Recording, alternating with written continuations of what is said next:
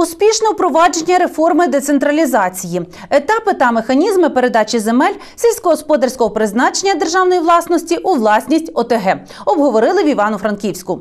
Понад 20 тисяч гектарів земель буде передано громадам в Україні. Детальніше наші кореспонденти. Наразі в Івано-Франківській області уже створені 23 об'єднані територіальні громади.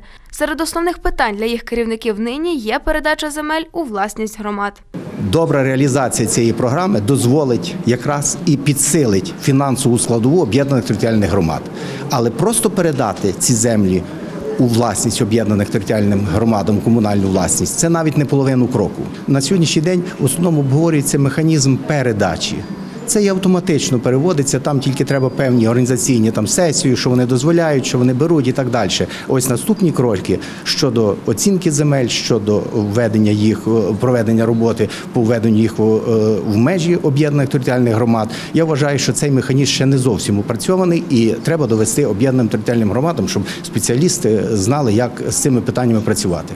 Фахівці кажуть, уже незабаром землі перейдуть у власність громад. Яким чином нею будуть користуватись люди, вирішуватимуть місцеві депутати на спільних нарадах. Сам процес передачі земель, обіцяють юристи, не буде тривалим. Об'єднана територіальна громада звернеться до е, головного управління Держгеокадастру Київської області, яке на підставі свого наказу і підписаного акту прийому передачі земельних ділянок передасть ці земельні ділянки, які знаходяться на території об'єднаних територіальних громад, їм в комунальну власність. Е, Правоустановлюючим документом е, буде витяг з реєстру речових прав. Роман Крутий, голова Ямницької ОТГ, вважає, що передача землі добрий крок, адже це дасть можливість громаді залучити інвесторів та додаткові кошти.